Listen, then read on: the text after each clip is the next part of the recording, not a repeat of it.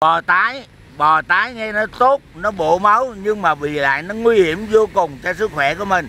Nếu chúng ta sử dụng bò tái ăn chung với phở nhưng quá là có độc hại như nhiễm các ký sinh trùng, người ta còn gọi, dân gian gọi là sáng sơ mít sáng lá gan.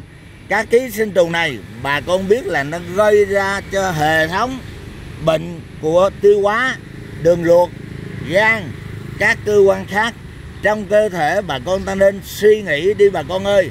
Ăn bò tái bộ máu là không phải tốt. Đâu nha bà con? Đó khi giết mổ nếu ta xác định được bò tái nó có quen biết nó sạch thì tốt. Bởi vì nó có lợi cho vitamin B6 protein.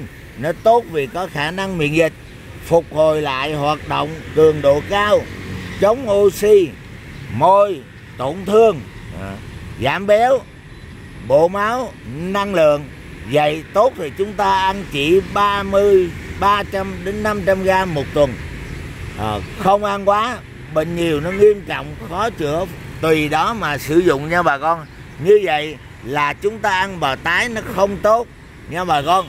Bởi vì nó có hại nó nguy hiểm ký sinh trùng hay gọi là sáng semic dân gian hay gọi là như vậy sáng lá gan ký sinh trùng này bà con biết là nó gây cho hệ tiêu hóa, đường ruột, gan, các cơ quan khác trong cơ thể rất là nguy hại. Bà con ta ăn bò tái nó bộ máu là không phải đâu. Khi giết mổ được, nếu ta xác định thịt đó là thịt sạch thì nó có lợi cho vitamin B6 nhưng mà thường thường thì nó bán tùm lum, cho nên cũng đừng có sử dụng bò tái là tốt nhất. Mà khi xác định được nó sạch thì nó có vitamin B6 protein. Tốt đối vì có khả năng miễn dịch, phục hồi lại các hoạt động cường độ cao, chống oxy, chống mô tiện tham, giảm béo, tổn thương, giảm béo bộ máu năng lượng. Vậy chỉ ăn 300 đến 500 gram một tuần, không nên ăn quá nha bà con. Nó tốt cho khả năng miễn dịch vô cùng. Nó tốt là nó phục hồi lại được hoạt động cường độ cao.